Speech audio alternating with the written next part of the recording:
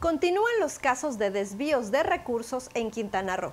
Ahora fue el expresidente municipal de Tulum, David Balam Chan, y varios de sus ex colaboradores, quienes fueron denunciados por el desvío de 12.5 millones de pesos del Fondo de Aportaciones para la Infraestructura Social Municipal.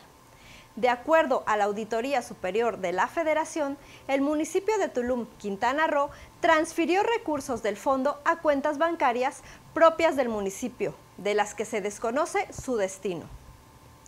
La PGR solicitó el pasado 30 de mayo la comparecencia del candidato a la presidencia municipal de Tulum, Víctor Masta, por supuestos fraudes, por lo que la Procuraduría abrió una carpeta de investigación en su contra.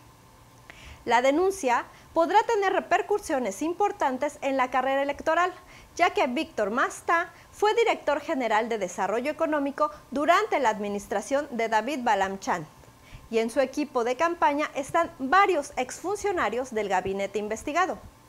La fecha para la comparecencia del candidato por la coalición por Quintana Roo al frente será el próximo 7 de junio a las 13 horas.